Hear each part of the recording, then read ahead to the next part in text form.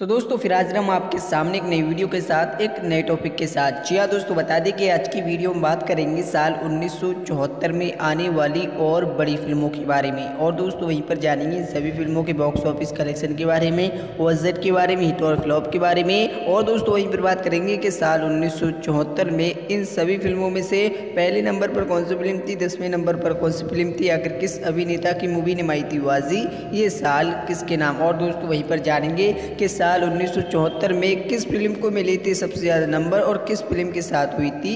नाइंसाफ़ी चलिए दोस्तों, वीडियो को शुरू करते हैं, बात करते हैं सबसे पहली फ़िल्म की। तो फ़िल्म का नाम था बेनाम। ये मूवी साल उन्नीस में आई थी फ़िल्म। इसमें हमें नज़र आए थे अनिता बच्चन के साथ, मौसमी चटर्जी भी अहम किरदार में थी। अगर हम बात करें इस फ़िल्म के बॉक्स ऑफ़िस कलेक्शन के बारे में वजट के बारे में हिट और फ्लॉप के बारे में तो दोस्तों, आपकी जानकारी के लिए बता चलूँ कि इस फ़िल्म का बजट सत्तर लाख रुपये था। इसने बॉक्स ऑफ़िस इंडिया पर लाइफ टाइम पिचासी लाख रुपए कमाई थी। वहीं इंडिया के ग्रोस कलेक्शन हुए एक करोड़ दस लाख रुपए। और ये मूवी एक्शन कॉमेडी रोमांस से भरपूर मूवी थी। लेकिन बेनाम मूवी कलेक्शन के हिसाब से बॉक्स ऑफ़िस पर अबाओ एवरेज साबित हुई थी। अगली फ़िल्म आई थी साल उन्नीस सौ चौहत्तर में। फ़िल्म का नाम था सगीना। ये मूवी साल उन्नीस में आई थी फ़िल्म इसमें हमें नज़र आए थे दिलीप कुमार के साथ। मौसमी चटर्जी भी अहम किरदार में थी। अगर हम बात करें इस फ़िल्म के बॉक्स ऑफ़िस कलेक्शन के बारे में वजट के बारे में, हिट और फ्लॉप के बारे में तो इस फ़िल्म का बजट पिचासी लाख रुपए था। इसने बॉक्स ऑफ़िस इंडिया पर लाइफ टाइम नब्बे लाख रुपए कमाई थी। वहीं इंडिया के ग्रोस कलेक्शन हुए एक करोड़ सतहत्तर लाख रुपये और ये movie action, comedy, family film थी, लेकिन ये मूवी बॉक्स ऑफ़िस पर कलेक्शन के हिसाब से एक बड़ी फ्लॉप साबित हुई थी। अगली फ़िल्म आई थी साल उन्नीस सौ चौहत्तर में। फ़िल्म का नाम था पॉकेट मार्क। ये मूवी साल उन्नीस में आई थी। फ़िल्म इसमें हमें नज़र आई थी। धर्मेंद्र शायरा बानो इसमें अहम किरदार में थी। अगर हम बात करें इस फ़िल्म के बॉक्स ऑफ़िस कलेक्शन के बारे में वजट के बारे में हिट और फ्लॉप के बारे में तो दोस्तों, आपकी जानकारी के लिए बता चलूँ कि इस फ़िल्म का बजट पचहत्तर लाख रुपये था। इसने बॉक्स ऑफ़िस इंडिया पर लाइफ टाइम एक करोड़ पाँच लाख रुपए कमाए थे। वहीं इंडिया के ग्रोस कलेक्शन हुए एक करोड़ पिचहत्तर लाख रुपए। और ये movie action comedy family film थी। लेकिन ये मूवी कलेक्शन के हिसाब से बॉक्स ऑफ़िस पर बिलो एवरेज साबित हुई थी। अगली फ़िल्म आई थी साल उन्नीस सौ चौहत्तर में। फ़िल्म का नाम था कसौटी। ये मूवी साल उन्नीस में आई थी फ़िल्म इसमें हमें नज़र आए थे अनिता बच्चन के साथ, हेमा मालिनी भी अहम किरदार में थी। अगर हम बात करें इस फ़िल्म के बॉक्स ऑफ़िस कलेक्शन के बारे में वजट के बारे में हिट और फ्लॉप के बारे में तो दोस्तों, आपकी जानकारी के लिए बता चलूँ कि इस फ़िल्म का बजट पचपन लाख रुपए था। इसने बॉक्स ऑफ़िस इंडिया पर एक करोड़ रुपए कमाए थे। वहीं इंडिया के ग्रोस कलेक्शन हुए दो करोड़ रुपए।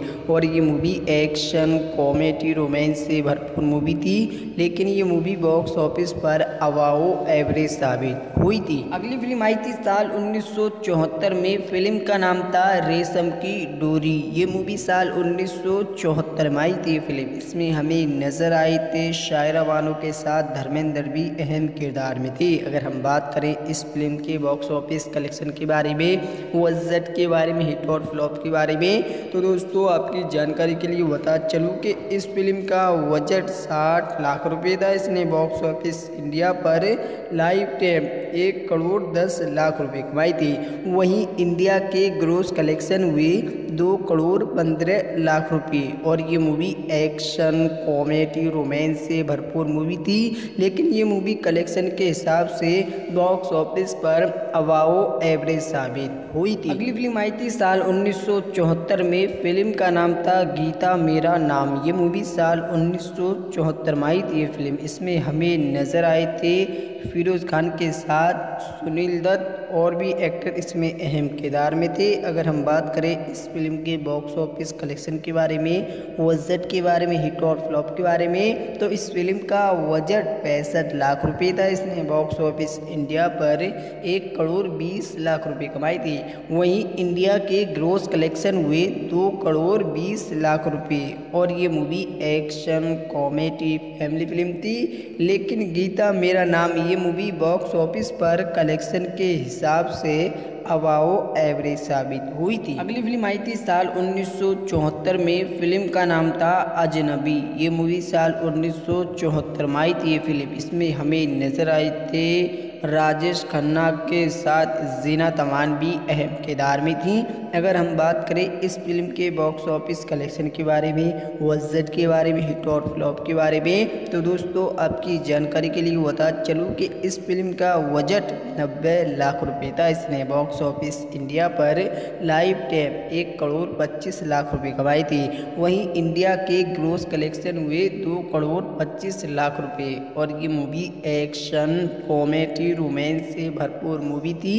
लेकिन ये मूवी कलेक्शन के हिसाब से बॉक्स ऑफ़िस पर एक एवरेज साबित हुई थी। अगली फ़िल्म आई थी साल 1974 में। फ़िल्म का नाम था प्राण जाए, लेकिन वचन न जाए। ये मूवी साल 1974 में आई थी ये फ़िल्म। इसमें हमें नज़र आए थे सुनील दत्त के साथ। रेखा भी अहम किरदार में थी। अगर हम बात करें इस फ़िल्म के बॉक्स ऑफ़िस कलेक्शन के बारे में वजट के बारे में हिट और फ्लॉप के बारे में तो इस फ़िल्म का बजट सत्तर लाख रुपए था। इसने बॉक्स ऑफ़िस इंडिया पर लाइव टाइम एक करोड़ चालीस लाख रुपए कमाई थी। वहीं इंडिया के ग्रोस कलेक्शन हुए दो करोड़ अस्सी लाख रुपए। और ये movie action comedy family film थी। लेकिन ये मूवी बॉक्स ऑफ़िस पर कलेक्शन के हिसाब से एक सेमी हिट साबित हुई थी। अगली फ़िल्म आई थी साल 1974 में। फ़िल्म का नाम था हाथ की सफ़ाई। ये मूवी साल 1974 में आई थी ये फ़िल्म इसमें हमें नज़र आई थे विनोद खन्ना के साथ राकेश रोशन और हेमा मालिनी भी अहम किरदार में थी। अगर हम बात करें इस फ़िल्म के बॉक्स ऑफ़िस कलेक्शन के बारे में बजट के बारे में, हिट और फ्लॉप के बारे में तो दोस्तों, आपकी जानकारी के लिए बता चलूँ कि इस फ़िल्म का बजट 80 लाख रुपए था। इसने बॉक्स ऑफ़िस इंडिया पर लाइफ टाइम तीन करोड़ साठ लाख रुपए कमाई थी। वहीं पूरे वर्ल्ड में इस मूवी ने तीन करोड़ रुपए की शानदार कमाई की थी। और ये मूवी एक्शन कॉमेडी रोमांस से भरपूर मूवी थी। लेकिन ये मूवी बॉक्स ऑफ़िस पर कलेक्शन के हिसाब से सेमी हिट साबित हुई थी। अगली फ़िल्म आई थी साल 1974 में। फ़िल्म का नाम था आपकी कसम। ये मूवी साल 1974 में आई थी ये फ़िल्म इसमें हमें नज़र आए थे राजेश खन्ना के साथ संजीव कुमार और मुमताज़ भी अहम किरदार में थे। अगर हम बात करें इस फ़िल्म के बॉक्स ऑफ़िस कलेक्शन के बारे में वजट के बारे में हिट और फ्लॉप के बारे में। तो दोस्तों, आपकी जानकारी के लिए बता चलूँ कि इस फ़िल्म का बजट नब्बे लाख रुपए था। इसने बॉक्स ऑफ़िस इंडिया पर लाइफ टाइम एक करोड़ साठ लाख रुपए कमाई थी। वहीं इंडिया के ग्रोस कलेक्शन हुए तीन करोड़ पच्चीस लाख रुपए। और ये मूवी एक्शन कॉमेडी रोमांस से भरपूर मूवी थी। लेकिन ये मूवी कलेक्शन के हिसाब से बॉक्स ऑफ़िस पर एक सेमी हिट साबित हुई थी। अगली फ़िल्म आई थी साल 1974 में। फ़िल्म का नाम था विदाई। ये मूवी साल 1974 में आई थी ये फ़िल्म इसमें हमें नज़र आए थे जितेंद्र के साथ लीना चंद्रवाकर भी अहम किरदार में थी। अगर हम बात करें इस फ़िल्म के बॉक्स ऑफ़िस कलेक्शन के बारे में वजट के बारे में हिट और फ्लॉप के बारे में तो दोस्तों, आपकी जानकारी के लिए बता चलूँ कि इस फ़िल्म का बजट पिचासी लाख रुपए था। इसने बॉक्स ऑफ़िस इंडिया पर दो करोड़ बीस लाख रुपए कमाई थी। वहीं पूरे वर्ल्ड में इस मूवी ने चार करोड़ पच्चीस लाख रुपए से ज़्यादा का कलेक्शन किया था। और ये मूवी एक्शन कॉमेडी रोमांस से भरपूर मूवी थी। लेकिन ये मूवी बॉक्स ऑफ़िस पर कलेक्शन के हिसाब से एक बड़ी हिट साबित हुई थी। अगली फ़िल्म आई थी साल 1974 में। फ़िल्म का नाम था प्रेम नगर ये मूवी साल साल उन्नीस सौ चौहत्तर में आई थी फ़िल्म इसमें हमें नज़र आए थे राजेश खन्ना के साथ हीमा मालिनी भी अहम किरदार में थी।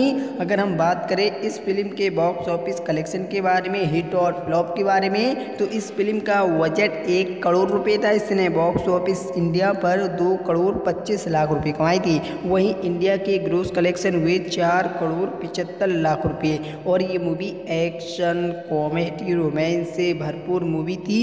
लेकिन ये मूवी बॉक्स ऑफ़िस पर कलेक्शन के हिसाब से एक बड़ी हिट साबित हुई थी। अगली फ़िल्म आई थी साल 1974 में। फ़िल्म का नाम था रोटी, कपड़ा और मकान। ये मूवी साल 1974 में आई थी। ये फ़िल्म इसमें हमें नज़र आए थे। मनोज कुमार के साथ शशि कपूर, जीना तमान और अनिता बच्चन के साथ मौसमी चटर्जी भी अहम किरदार में थी। अगर हम बात करें इस फ़िल्म के बॉक्स ऑफ़िस कलेक्शन के बारे में तो इस फ़िल्म का बजट एक करोड़ पच्चीस लाख रुपये था। इसने बॉक्स ऑफ़िस इंडिया पर पाँच करोड़ तीस लाख रुपये कमाए थे। वहीं पूरे वर्ल्ड में इस मूवी ने ग्यारह रुपए से ज़्यादा का कलेक्शन किया था और ये मूवी बॉक्स ऑफ़िस पर ऑल टाइम ब्लॉकबस्टर साबित हुई तो थी। दोस्तों ये रही साल 1974 में आने वाली और बड़ी फ़िल्में तो इन सभी फ़िल्मों में से कौन सी मूवी आपकी ज़्यादा पसंद है? अपनी राय कमेंट बॉक्स में ज़रूर दें।